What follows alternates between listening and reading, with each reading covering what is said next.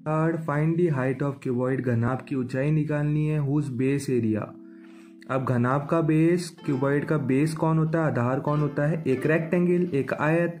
तो आपको कुल मिला के रेक्टेंगल आयत का क्षेत्रफल दिया हुआ है और इस क्यूबॉइड का, इस घनाभ का आपको आयतन वॉल्यूम भी दिया है। वॉल्यूम का फॉर्मूला होता है length into breadth into height और इधर आपको गिवन है लेंथ इंटू ब्रेथ ठीक है? तो इस वाले फॉर्मूला में लेंथ और ब्रेथ की वैल्यू रख दीजिए और हाइट की वैल्यू निकालने के लिए ट्रांसपोजिशन लगाइए। 900 को 180 से कुल मिला के आपको डिवाइड करना है, आपके पास हाइट आ जाएगी। So area of base of cuboid यानी रेक्टेंगल का आयत का कुल मिला के आपको क्षेत्रफल दिया है एल इंटू बी ये फ़र्स्ट इक्वेशन हो गई। सेकेंड वॉल्यूम गिवन है L into B into H की वैल्यू गिवन है इधर।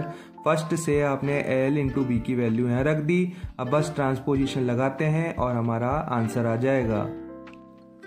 हाइट हो गई 180 से डिवाइड करने पे 900 फाइव टाइम डिवाइड होगा। सेंटीमीटर से सेंटीमीटर कैंसिल सेंटीमीटर से सेंटीमीटर तो ओनली क्या बचा? वन से, है ना? ओनली वन टाइम सेंटीमीटर बचा तो आपका हाइट ऊंचाई आ गई फाइव सेंटीमीटर क्वेश्चन फिनिश